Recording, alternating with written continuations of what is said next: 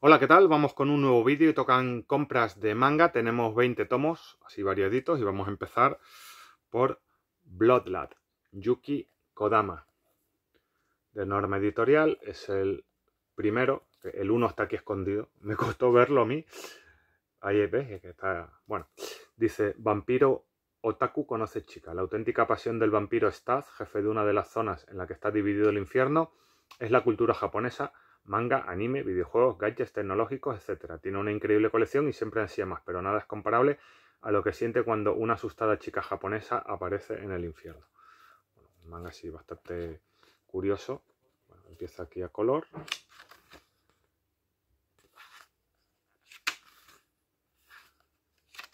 Y luego ya sigue en blanco y negro.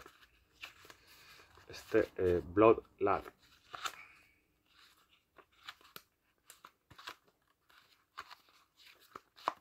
número uno y único pues que, tenemos a día de hoy. A ver, vale. Luego tenemos eh, Blitz Royal, que son dos tomos y son, o sea, son uno y dos, solo hay estos dos. Y es la, segunda parte de Battle Royale, Battle Royale 2. Sabéis que son las clases del instituto que las ponen ahí a luchar entre ellos.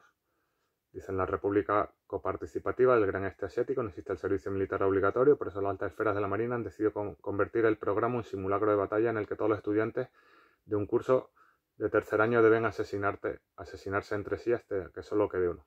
Hay una película que protagonizaba Takeshi Kitano.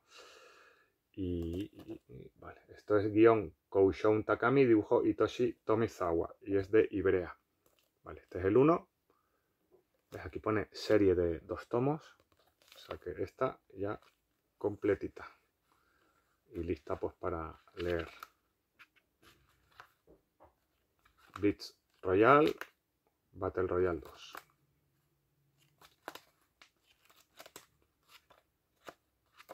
El 1 y vemos brevemente el, el 2.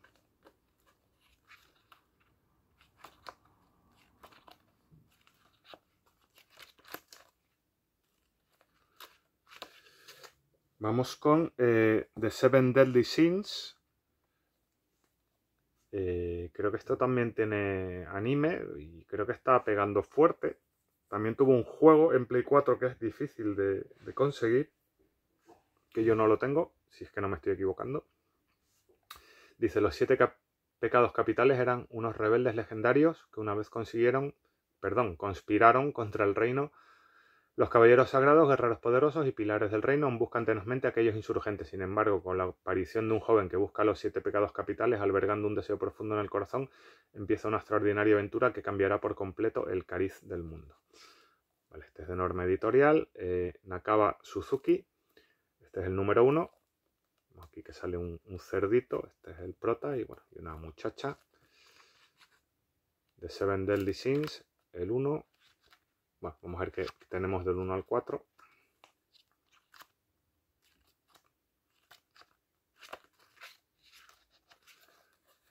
Vale, el 1, el... Ah, que se cambió el orden. Vale, este es el 2, que había salido el 4. El 2.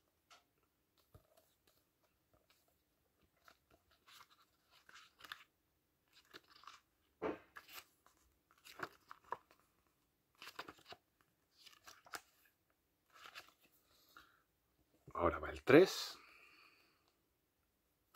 Se vende el de Sims 3.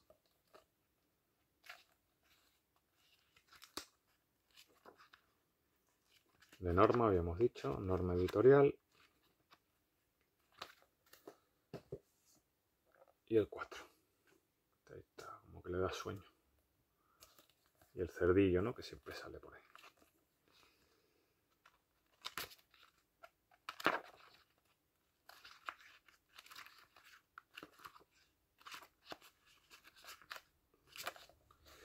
Ahora vamos con Detective Conan, em, en estos tomos así con bastantes páginas.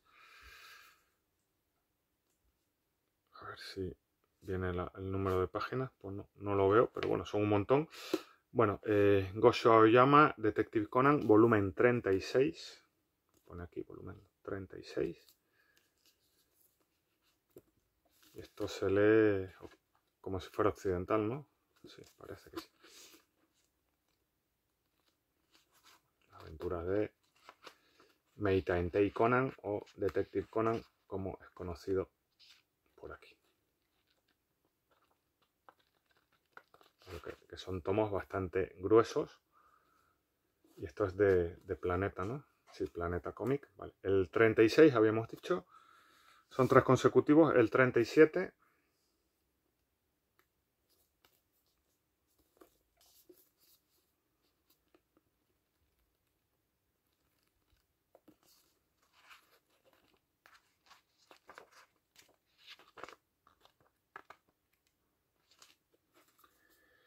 y el 38.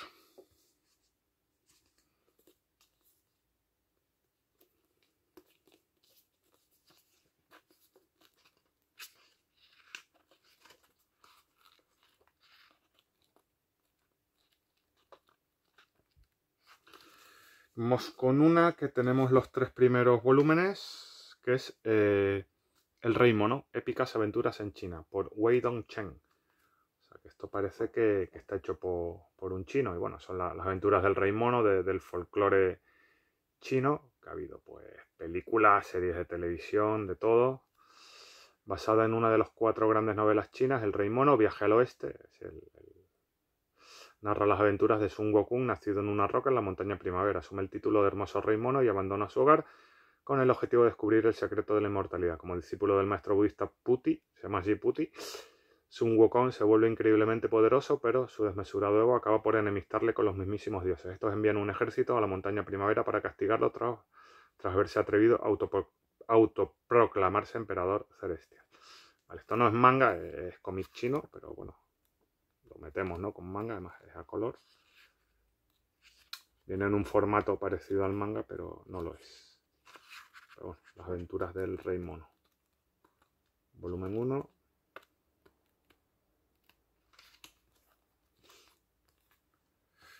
volumen 2. Y hemos visto que, se lee como si fuera un, cómic occidental, sentido occidental.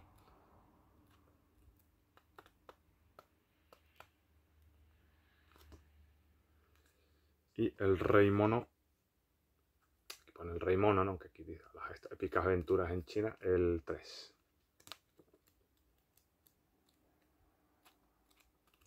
Pues cómic chino, aquí de incógnito ¿no? dentro de los mangas. Vamos con esta gente, Distrito Manga, que es una editorial nueva. Ya habíamos visto alguno en un vídeo anterior. Bienvenidos a este triángulo amoroso bajo el tejado de la pensión Gran Angular. Esto es eh, Love in Focus, número uno, de Yoro Nogiri. Love in Focus.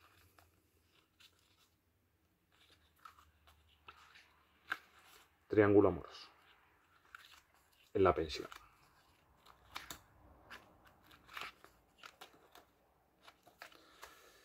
Seguimos con Yu-Gi-Oh! volumen 2 y este viene como pequeñín. Vamos a fijarnos, ¿no? Que... ¿Veis? Nunca había visto un manga en este formato. Dice, un hombre misterioso llegado a Egipto aparece en Japón con la intención de descubrir qué poder secreto le otorga el puzzle milenario a Yugi. Para ello toma a Anzu como Ren y somete a Yugi al juego de las tinieblas. Logrará Yugi superar todas las pruebas y salvar a Anzu. Y esto es de Planeta de Agostini. Yu-Gi-Oh! 2. es el juego de, cartitas archipopular con videojuegos, etc. Un formato realmente, bueno, vamos a llamarlo de bolsillo. Seguimos con Hakyu. Yo digo Hakyu, Haruchi Furudate, el número 6, que son los, del béisbol, duelo de colocadores. Estos los han editado recientemente, el primero lo pusieron a, precio reducido y creo que es bastante éxito de ventas esta serie de, de béisbol, digo, de voleibol, Hakyu. Volumen 6.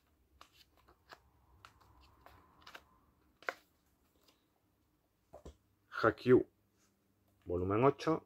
Se acabó el Rey Solitario.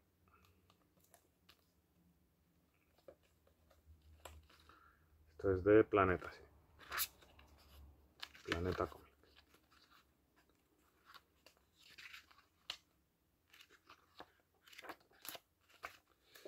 Y Hakyu 9. Deseo.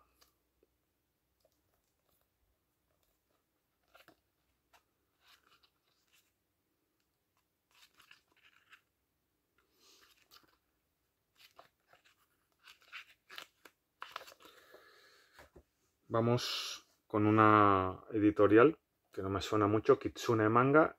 Ha llegado la hora de ser la protagonista de mi propia vida. Una historia fresca y divertida sobre el primer amor y lo importante que es creer en uno mismo. El amor de Mobuko, número 3.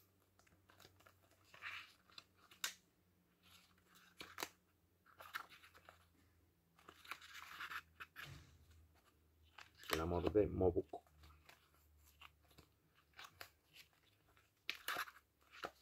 Y vamos a terminar con eh, Full Metal Alchemist, formato este grande, Kanzenban, el número 14.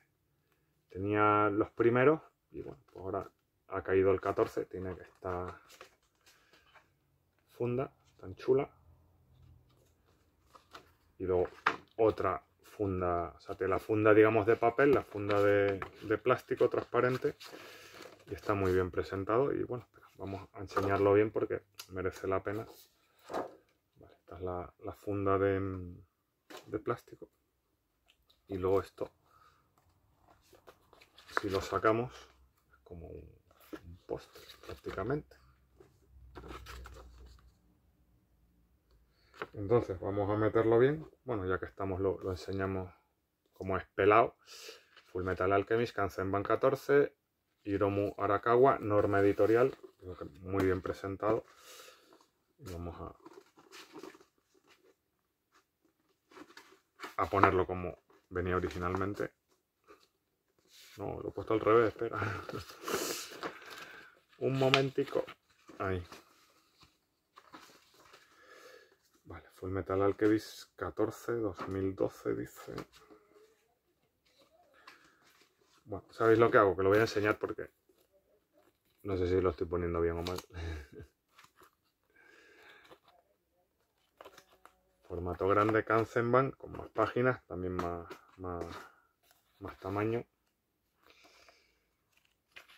De Full Metal Alchemist.